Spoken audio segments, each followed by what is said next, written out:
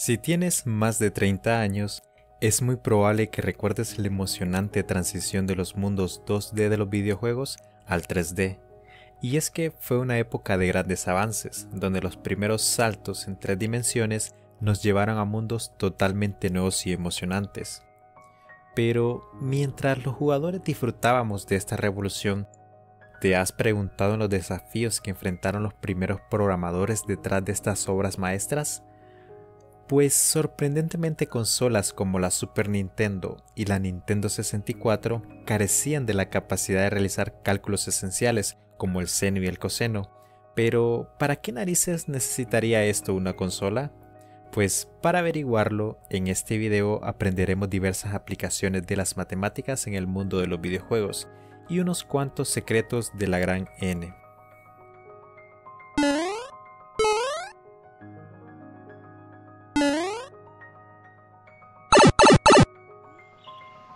¿Recuerdas este mítico jardín?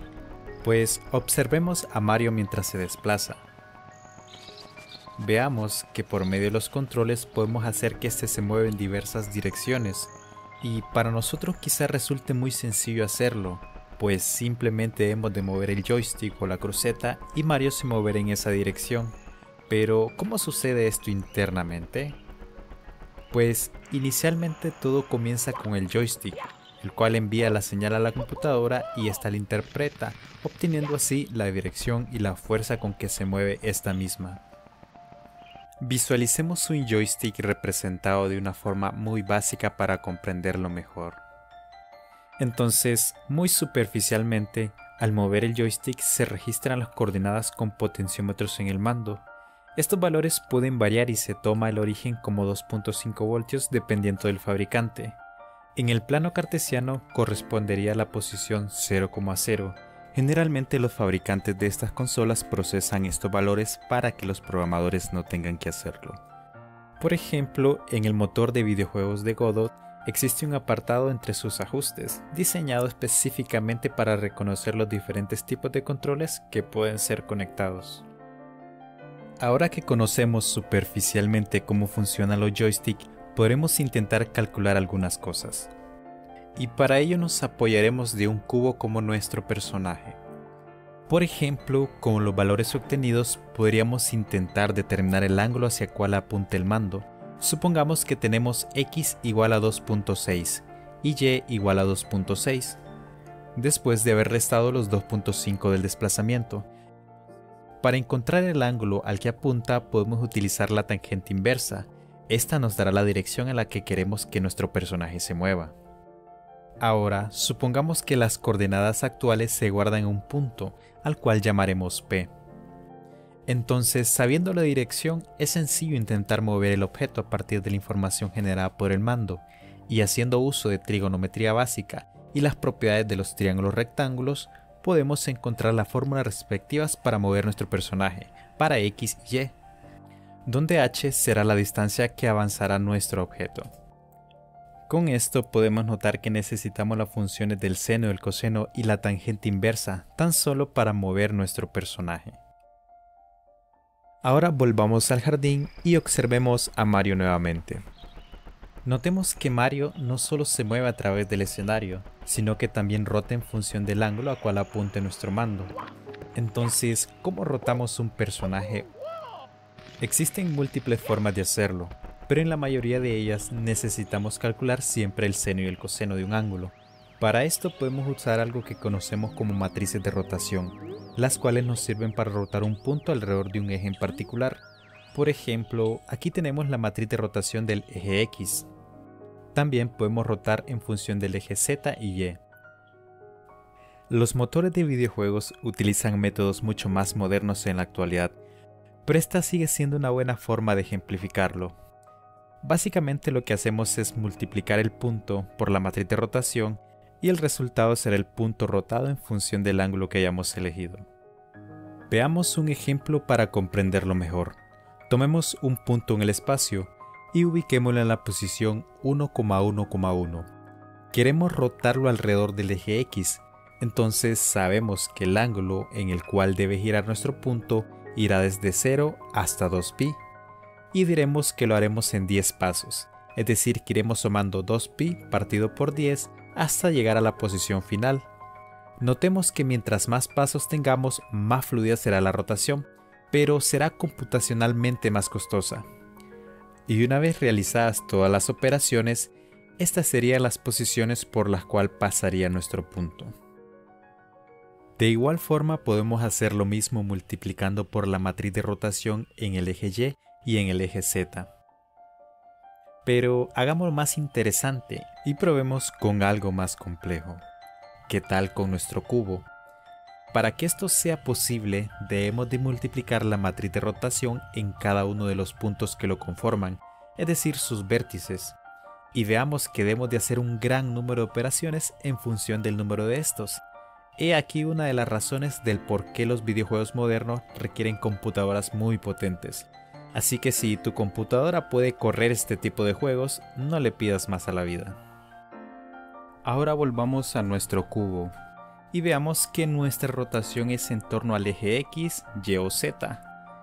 Pero ¿y qué pasa si queremos rotarlo alrededor de otro punto? Pues para lograr esto simplemente debemos de restar el punto en donde estará el nuevo eje de rotación, al cual llamaremos Y, antes de multiplicar por la matriz.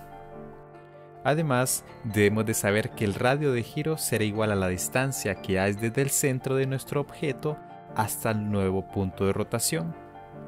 Sabiendo lo anterior, intentemos rotar nuestro cubo alrededor de su propio eje.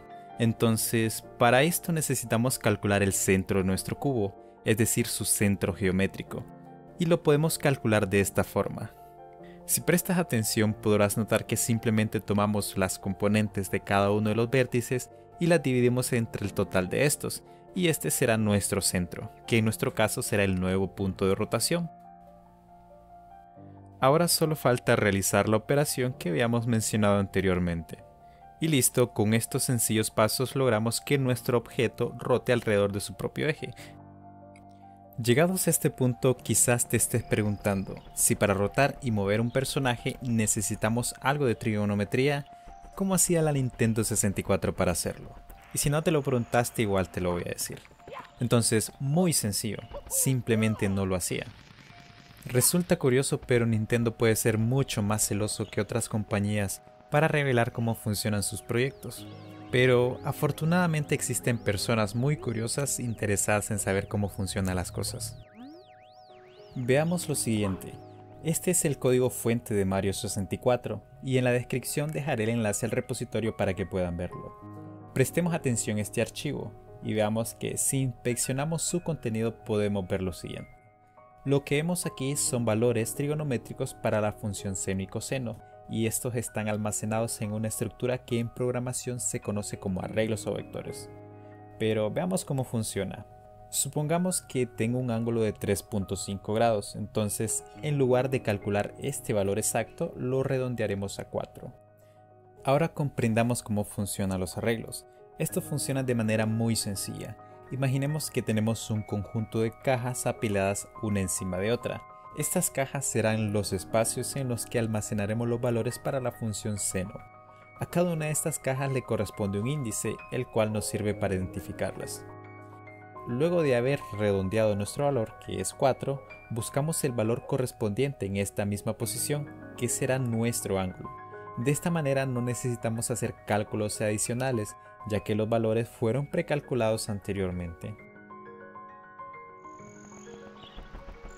Es probable que todo esto no lo notaras, ya que los ángulos considerados son tales que resulta complicado para nuestra percepción notar algún defecto en las rotaciones y traslaciones.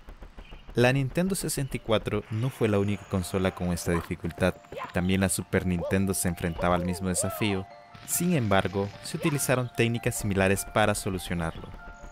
Posteriormente se implementarían métodos que ahorrarían el cálculo de funciones trigonométricas, Así que si disfrutaste mucho de los juegos de esa época, se lo debes a esos programadores que sacrificaron su paz mental para ayudar a una consola que no sabía trigonometría.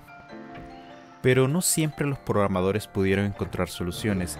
En Super Mario Bros. 2 para la NES solo se podían rotar los fondos, pero no los personajes. Esto debido a las limitaciones de la época, pero este problema se solucionó con la llegada de la siguiente consola, la Game Boy Advance por aquí podemos notar las significativas diferencias en los mismos videojuegos de diferentes consolas. Y así es como las primeras consolas superaron la falta de trigonometría, con ingenio y creatividad. Así que haz lo mismo, aprende algo nuevo, lee un libro, practica algún deporte, y nos vemos en el próximo video.